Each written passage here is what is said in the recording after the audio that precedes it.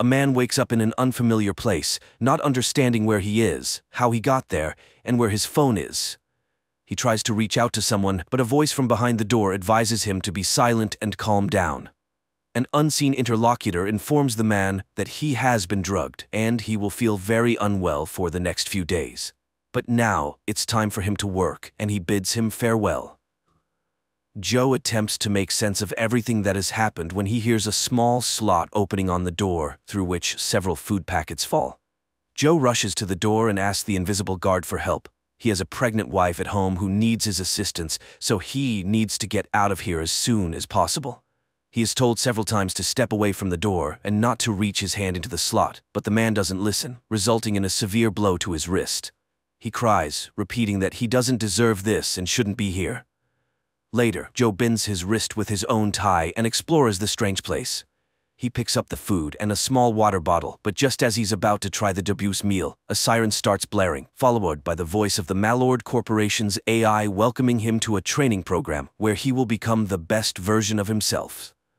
Joe asks for information, but his neighbor advises him to keep quiet. His questions will remain unanswered anyway.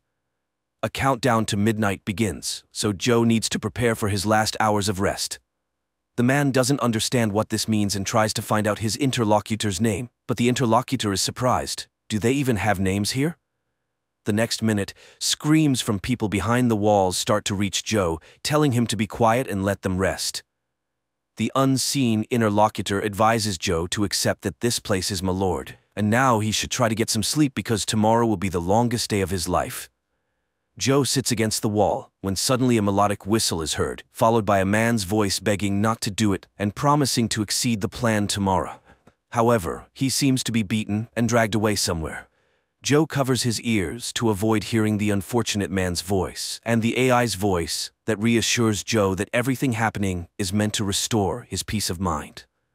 Finally, the sun rises over the enclosure, the same whistle sounds, and a male voice congratulates Joe on the beautiful day and reminds him that the cameras must be kept clean.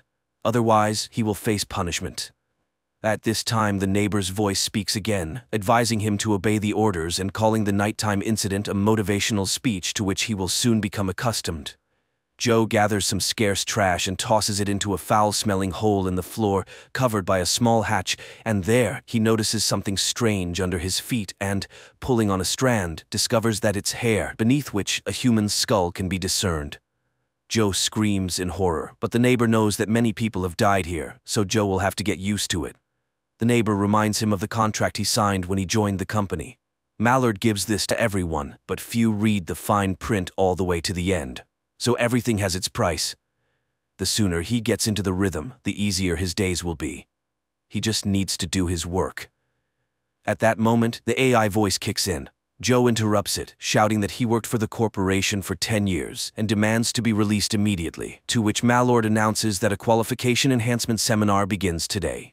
His productivity has declined recently, and now he has the opportunity to rectify it. Joe was once an exemplary employee, but he gradually stopped appreciating Mallard and everything she gave him. So now he has a new job that will last from 6 in the morning until 10 at night. During this time, he must turn the mill. One point for a complete rotation. His daily quota is 50 rotations. Do less, and he will be punished. But Mallard's motto is, enough is not good enough. He must strive to keep his position, salary, corporate apartment, and his life Mallard wishes him success. Joe tries to persuade the AI to release him, but the neighbor advises not to waste his strength. At the moment, he needs to survive, and for that, he must work. And Joe gets to work. At first, it's very difficult for him, but he pushes through, and it starts to move. Mallard congratulates him on his first rotation, suggesting a virtual toast for his first victory. Joe pushes the mill, listening to the corporation's advertisements, Finally, the signal for the end of the work sounds, and Mallard congratulates him on completing his first day of self-improvement work. He exceeded the quota, which is very good. At night, Joe hears women's screams as Mallard announces another dismissal. Later, the neighbor, learning that Joe doubled the quota, advises him not to maintain such a pace. Joe can't understand the point. If he doesn't meet the quota, he's punished, but if he exceeds it and is last among all, it means death to which the neighbor advises not to tell everyone about his quota. They're not friends, and the neighbor will always try to outdo him. They all have one thing in common. They climbed the corporate ladder, receiving many bonuses from the company, and seemingly reached the top. But, alas. Suddenly, Joe starts talking about his wife and the future son they had long awaited. And now, he's here. To which the neighbor advises him to work as well as he can. It's the only way to survive here, but overdoing it is not an option. A new workday begins. Joe pushes the mill and remembers how he and his wife inspected their new home, and he promised to work even harder to pay for it. The workday ends when there's a knock on Joe's door, and he's ordered to remove all of his clothes. He becomes scared but complies. After undressing, he steps out of the door and finds himself under a stream of water. After quickly washing himself, he returns to his chamber. The next day arrives, and the weather outside is significantly hotter, causing Joe to quickly become exhausted. He asks his neighbor what this mill is and what they are all doing here. The neighbor responds that they produce nothing, so the place is empty of purpose or meaning. Soon, Joe runs out of water and tries to call out to the guard, but the guard advises him to collect his urine and drink it, filtered through his sneakers. Joe is absolutely reluctant to do so, and the invisible interlocutor laughs at him, saying that Mallard knows what he needs. Here, he will be pushed to his limits, and Mallard wants to see how far he can go before breaking. Joe continues to work, recalling how his wife doubted his ability to pay all the bills, and he promised that their child would have a better life. That evening, Mallard notes Joe's growing self-awareness. Suddenly, he sees a name carved out. Alex. Later, he asks the neighbor who Alex is, and the neighbor calls him a legend who managed to escape from here. The next morning, Mallard thanks him for his diligence and gives him a personalized pen. Then she displays a new daily quota, 370 laps. Joe is horrified and expresses his frustration in the rudest way. The AI explains that people don't always realize their strengths. It's tough, but this is how the world changes. A signal sounds, and Joe starts pushing the mill. Suddenly, he notices that the counter doesn't mark the laps. Instead, a cross appears, indicating punishment. One cross equals two laps, and it continues geometrically. Then, the person gives up, but Joe is not planning to do that. With all his strength, he pushes the mill, however, his strength leaves him. When the neighbor learns the number of laps assigned to him, he becomes furious. Joe exceeded the unattainable number of laps, argued with Mallard, and now all of them will suffer. Mallard then announces that he failed to meet the quota and disappointed his colleagues. Taking care of them is the company's main principle, so he will have a new colleague, Kate Stevens. Joe is horrified when he sees his wife's face on the screen and promises to exceed any plan just to keep her from being here. Mallard gives him one day and activates a massive glowing screen above his compartment, not allowing him to rest. A new workday begins, and Joe starts pushing his mill under Mallard's wishes for a productive day. Suddenly, he sees himself in front of him, a second Joe mocking his hopes. He worked his whole life, hoping his efforts would pay off, but now he's failed and should give up. However, Joe stubbornly continues pushing the mill, and at exactly 10 mog, he completes 370 laps. Mallard congratulates him on this and cancels the penalty. As motivation, they show him images of his wife with a baby in her arms. Joe cries tears of joy, but immediately afterward, tears of sorrow as he missed his son's birth. In the morning, he asks his neighbor to tell him everything he knows about this place, the neighbor recalls his son, whom he saw only in his childhood because his father was always at work. He advises Joe to investigate the blind spot.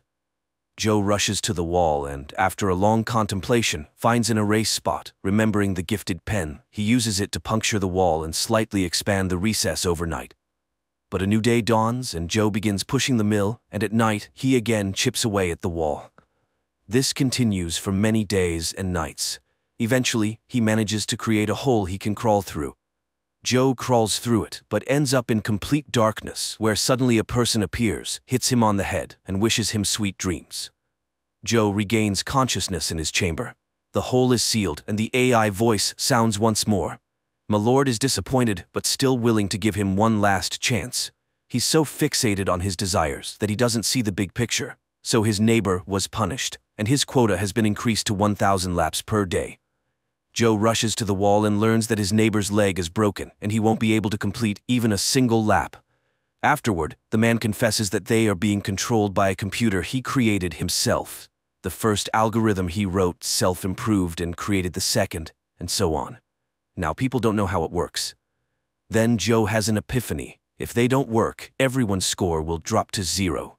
And what will the algorithm do then? Joe shouts to the others, telling them about his discovery. People respond, supporting his proposal to stop working. But the workday begins, and everyone starts pushing their mills because they are afraid of dying. Joe tries to persuade his neighbors, but realizing the futility, he cries and picks up the pen. In the evening, he talks with his neighbor, and the neighbor reveals his name, Alex. He also managed to escape from his chamber but was brought back, just like Joe, so getting out of here is impossible.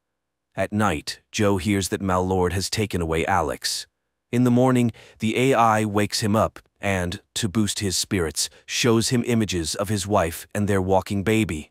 Joe is horrified. He can't be here for so long. He shouts insults at Mallard and he's fired. Immediately, the doors open and a crowd of clerks enters, positioning themselves on the sides and silently watching Joe as he thrashes among them, trying to get an answer. But then, a man in uniform enters and confesses that he enjoys firings. Twelve clerks witnessed each of them. The man loads a syringe and laments Joe's ingratitude when Mallard gave him the whole world.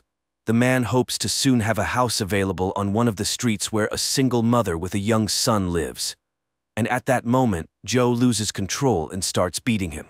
Mallard announces a security guard's failed mission and his impending firing, while Joe, on the contrary, will be promoted. The man stops, feeling blood on his hands, but the battered guard asks him to continue and then Joe stands up and shouts that he is not a monster, and he leaves. And right away, Joe finds himself in an office where several employees are sitting, and his interlocutor congratulates him on passing the career advancement simulator. It all happened within an hour, and his son hasn't been born yet. He struggled with middle-level managers but got stuck on the eighth level. Mallard realized that he was too good. His productivity increased, his personal qualities improved, and the coup he organized exceeded all expectations. He's a non-conventional thinking leader. Joe takes off the suction cups from himself, but his interlocutor doesn't pay attention and invites him to see his new office. In Mallard, there are numerous positions, and you can climb to the top for years. Soon the pair reaches the desired floor, but Joe keeps thinking about the time spent in the simulation. Here's the office with new gadgets. Joe also expects a salary increase and other perks. There's a contract on the table stating that disclosing what he experienced in the simulation will lead to immediate termination. Joe signs it and receives assurances that Mallard is his company forever. The man sits down at the table, looks at a photo of his wife, and calls Kate. She's surprised, and the man can barely hold back tears, recalling his long, eventful day. After catching his breath a bit, he promises to burn this damned place, the movie is presented as a science fiction film, but behind every word or action of the hero, the reality of the modern corporate system is clearly revealed. The blatant exploitation of people, causing them to start living to work rather than working to live.